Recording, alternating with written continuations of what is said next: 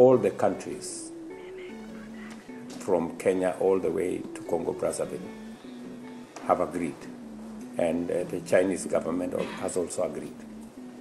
I think the only um, item standing in the way is uh, a financing structure. Um, we are prepared as a government of Kenya to make a contribution.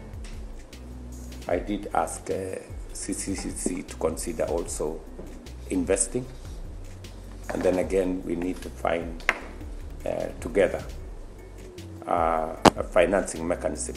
And I think it is time for us to engage um, the Chinese government and also possibly the Chinese private sector in um, finding a solution, a financing solution, because the necessity of having this infrastructure